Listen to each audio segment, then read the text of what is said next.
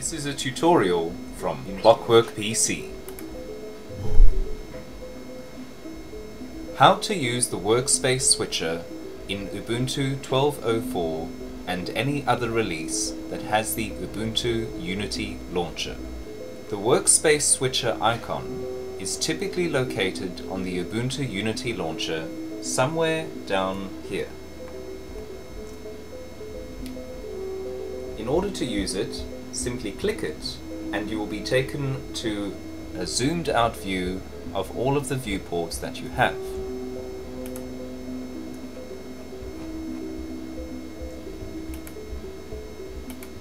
So we can see here is a Firefox window and here is a terminal window and here are two empty workspaces. To enter an empty workspace, double click.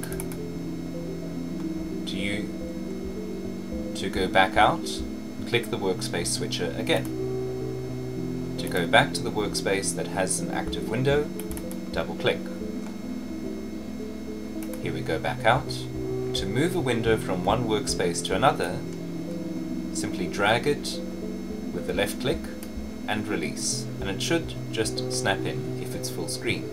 If it's not full screen, it'll pretty much end wherever you drop it. So if I drop it here, it's in the middle, I drop it here, it's in the top right, and so forth. So we'll take this back down here, and we'll take this over here.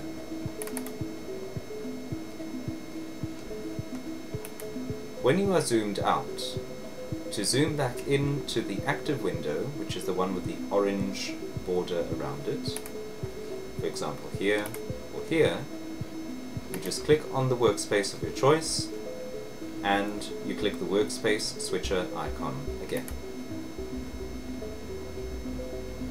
Thanks for watching this Clockwork PC tutorial.